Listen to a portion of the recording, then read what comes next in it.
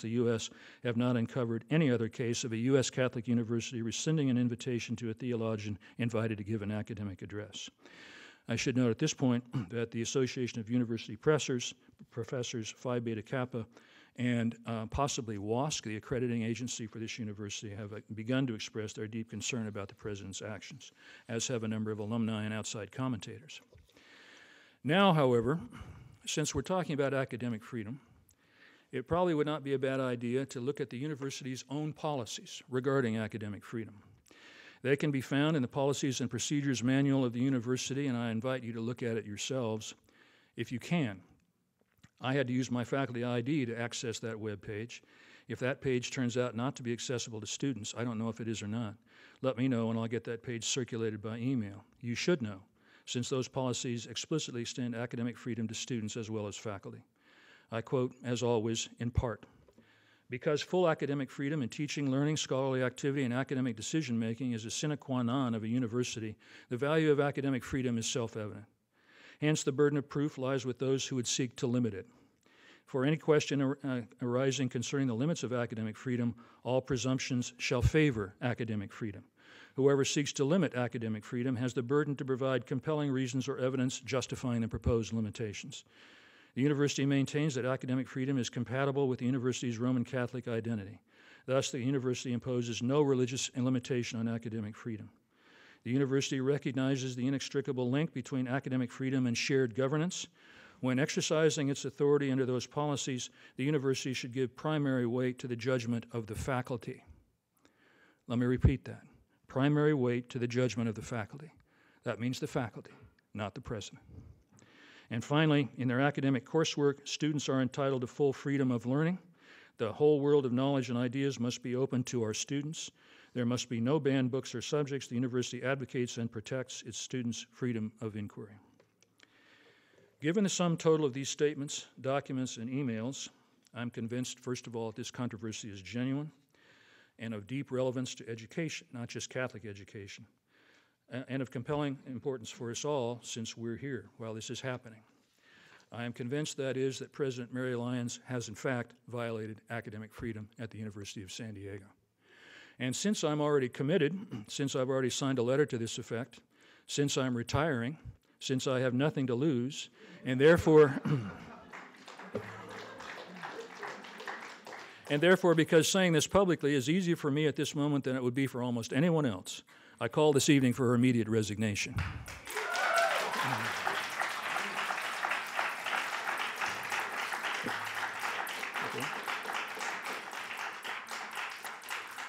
Now, believe it or not, I'm not here tonight to ask that you should do that too. For one thing, you're not retiring. this is one talk, one evening, one person, and that one person is on his way out. I imagine there'll be other persons, other talks, and other evenings.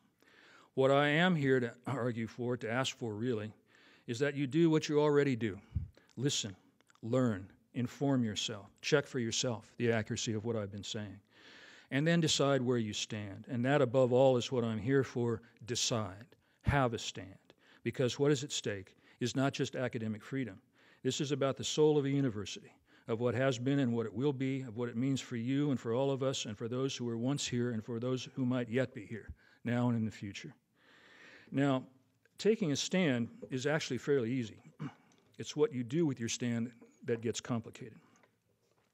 You might, however, or you might, for example, just disagree with me. Okay. In that case, it's a debate, and a good one, because in the long run, it can't help but be good for the university. Bring it on. On the other hand, you might agree with me, but not be able to do anything about it. For a thousand completely legitimate reasons, you're graduating in January, let's say, you're $100,000 in debt, and you have a few bad habits, like eating actual food and sleeping with a roof over your head in that situation, uh, you need a job. In that situation and, many, and in many others, we understand. We can't, nor would we ever wish to, command your life. If something that or something like that is your situation, by all means, live, the way, live your life the way you need to, um, and Godspeed. But there is a third possibility, which is that you agree with me. Then the question is, now what? What do we do about that? The first thing I would suggest is that you understand that doing nothing is itself taking a position. It means, whether you say it this way to yourself or not, that other things are more important to you than this academic freedom issue. It means that not voting is actually a vote, a vote for the status quo, a vote for, uh, in favor of the way things are. That the problem, well, maybe it's a problem, it's not that big of a problem, it matters, okay, but I don't want to, I don't know how to, how to deal with it. In that case, a dictum from the long ago, from my own personal long ago, from the 1960s in this country, in protests against the war in Vietnam. If you're not a part of the solution, you're part of the problem. Your inertia stands in the path of the change that is coming to this university, no matter what that change turns out to be. So I hope you will not do that. Come to the table. Inform yourself to the best of your ability. Take nothing for granted, including what I say this evening. Be part of the discussion and act according to your heart and conscience. I'm only one person. I speak for no one tonight but myself. But I call this evening for the formation of joint student faculty working groups to gather information, plan, and co- coordinate our actions with or without input from the administration. And I would prefer without, since the administration is itself the target of any investigation we might like to undertake. And if the administration is involved, then there's the problem of conflict of interest, of self dealing. I think the faculty and the students should consider working together first, and we'll see what happens later because we are the lost voices of this university. Faculty and students are the reason there even is a University of San Diego. Let's stand together and bring light, air, commitment, and, and dare I say it, even pride to this university and become individually and collectively the change makers we say we are.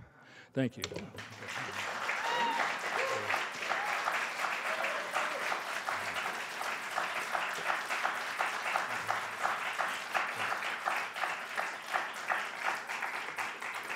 Thank you. Thank you.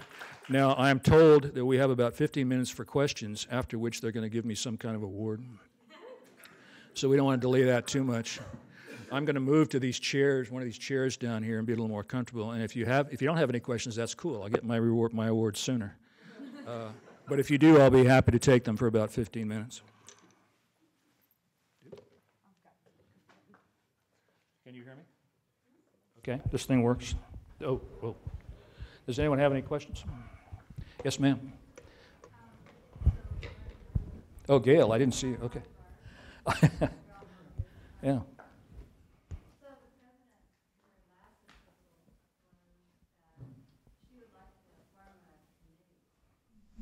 And, I was so dismayed by that. and the people were saying, well, I would like to be on such a committee. And it's like more unilateralism, more dummy committees study it, and then we'll file it away. Mhm. So I was thinking, well, what about a restorative justice model? Actually, we have a committee, it's called the Faculty Assembly. Okay. Yes, we Um, did. That's And right. the students have a committee, I, I, I'm not sure what they call their committee, they already have one. Okay. So committees exist, so it's just one more typical move by the administration to avoid democracy, to avoid legitimate representation. And I was just so disheartened that, that faculty would want to be on yet another dummy committee, more flip chart democracy. Oh, good, we'll write that down and then burn the chart, you know? So I, I'm wondering, maybe we I should thought maybe I was being too radical, Gail, but just, okay. All right. The existing committees, which are the academics assembly and the student organization. Yeah. that Created the protest. Uh, well, first of all, let me point out the Academic Assembly is just the College of Arts and Sciences, so I think we want to try to broaden that as much as we can.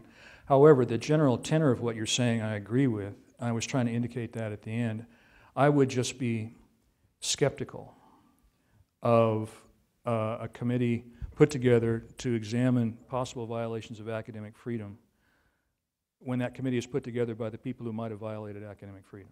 I mean, that, uh, and that's why I'm, I'm thinking that I'm not sure what the mechanism would be.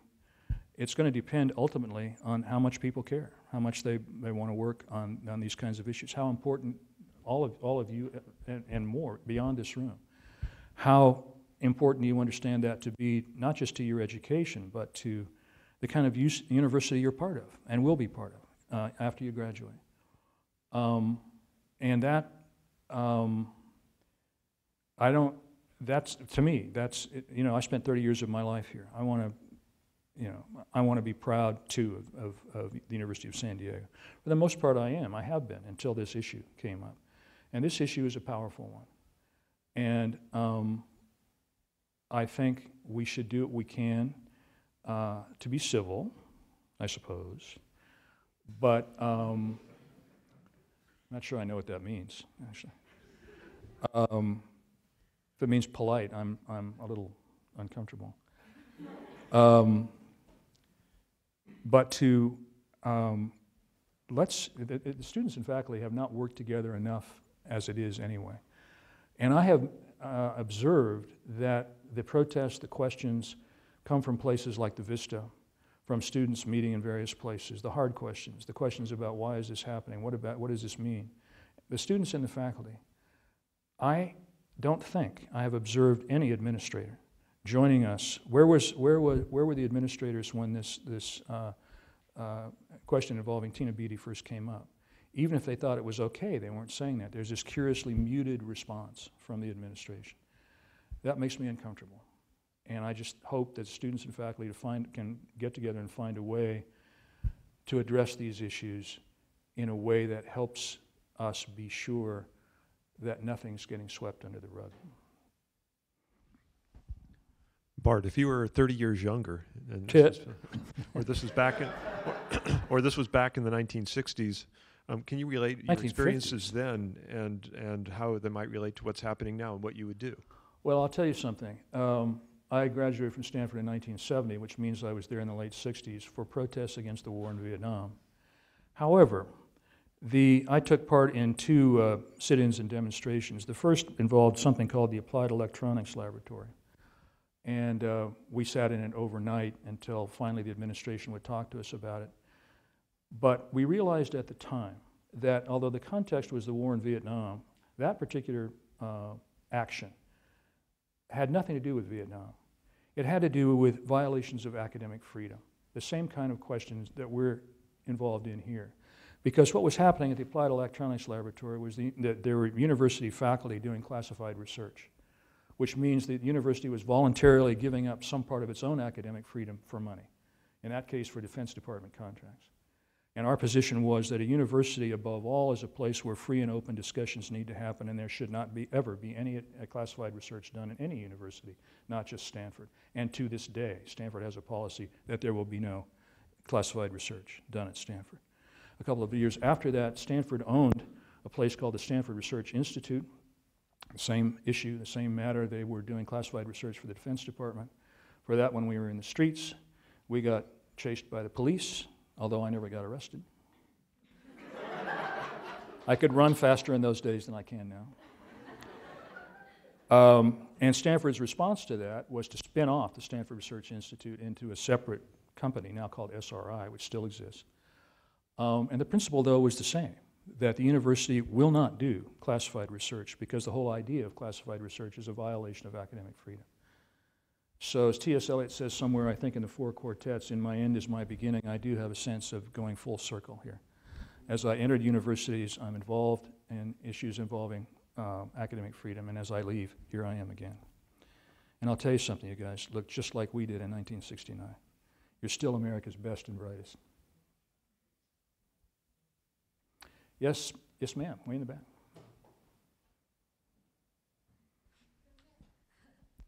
Um, I was just wondering, I've heard some rumors that uh, part of the decision involved donors threatening to uh, not donate anymore. And um, I was wondering if uh, you think that that is a big factor, and if so, how we can overcome that as a private university.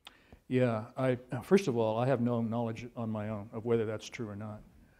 However, the president herself, in her defense of her um, uh, actions, mentions that the, those people who uh, gave money to create the CCTC had not given it for the purposes that the CCTC was using it. So, to the extent that the president says so herself, I think we can say that that may have been a factor. How much of a factor, I have no idea. And I agree that a private university needs to be, any university, needs to be sensitive to where its money comes from. But I think, I actually think, in this case, the president's initial decision to set up the CCTC, to raise money to, to find it, was was the precipitating event for what we're dealing with now. Because it, as it turns out, uh, it looks as though the, the donors uh, have certain Catholic views that are a fairly narrow range of Catholic views, and that the CCTC must adhere to those, that narrow range, or else uh, we'll take our football and go home. And um, that's a problem. The, and in my opinion, the CCTC should never have been set up if there were conditions attached, even unspoken conditions, to uh, what it could do and what it could not do. That's a little different than what you were asking. I mean, I think all universities, especially university presidents, are engaged 24 hours a day in trying to find money for, for their university. I don't blame the, the president for that. I question the wisdom of the way she did it in the case of the CCTC. Hi, just just a quick one. Um, regarding so so I think the major issue that's been brought up here is is academic freedom, Yeah. and I think that um, this also has to do a little bit, and I'm I'm sure they're interrelated, but uh, how much is this also an issue of um, um, e- equality of people with different uh, sexual orientations? Is this also an issue of that? Yeah, yeah. Um, well, I think it's an issue about people with different uh, sexual orientations because the president and presumably this group of Catholics with a fairly narrow range of, of opinion uh, made it an issue. That it was Tina Beattie's support of same sex marriage that precipitated her being rescinded well after the fact. So, yeah, I think that that's an issue. Now, how much of an issue it was, I'm not sure I'm the person to ask because it's not an issue for me. I mean, it was an issue for the president and for those donors that she was being sensitive about, uh, the CCTC. Clearly, it's an issue for somebody. And um, I don't know, I don't actually know uh, that this university has a position on um, um, same sex marriage. I mean, I have no idea. Um, my understanding is that we welcome people, officially, we welcome people of all sexual orientations. But this kind of an action makes you wonder.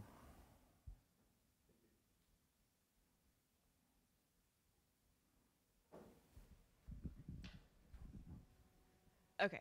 So uh, I know you are encouraging students to like kind of get involved and try to figure out what we need to do, but I know a lot of students want to do something but don't really know how. Yeah. And that's the most difficult part and like trying to connect with faculty. And so what do you suggest that we can all do? Because I know a lot of us Yeah. like we care about